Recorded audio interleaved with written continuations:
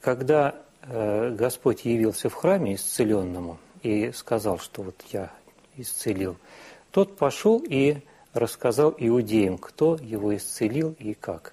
То есть получается, что этот человек его как бы предал, или это было по неведению и незнанию? Дело в том, что он э, настолько его переполняла и благодать Святого Духа, и э, душевная радость об исцелении. И потом, после того, как 38 лет полежишь, у нее и все тело ликовало. Потому что оно именно восстановилось. Это не просто вот как-то подлечили, а он стал новым человеком. И в этом состоянии человек способен только любить. А любовь, она всему верит.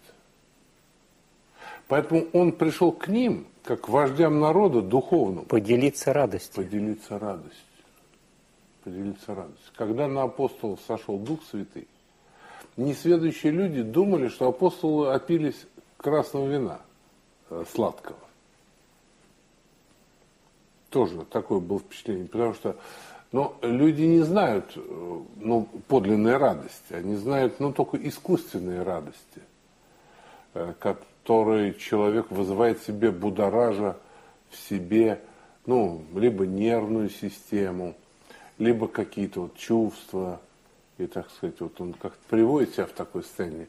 Э, кто с помощью музыки, кто с помощью наркотиков, кто с помощью, ну, более тонких вещей, там, поэзия – заставляет человека вибрировать.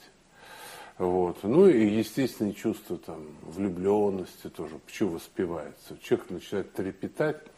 Ну вот, а это обычные душевные переживания. А здесь нет. Здесь затронуто не только душа и тело, что бывает и в других ситуациях, а и дух сам. Потому что э, он же был исцелен как результат его смирения 38-летнего. И поэтому он испытал благодать Святого Духа. Он испытывал ту же радость, которую вот Мотовилов испытывал после общения с преподобным Серафимом. Радость о Святом Духе. Причем он вкусил ее в такой полноте, которую никогда не вкушал. Поэтому око-то не видело, и ухо-то не слышало, что приготовил Господь любящим его. Поэтому это было очень естественно.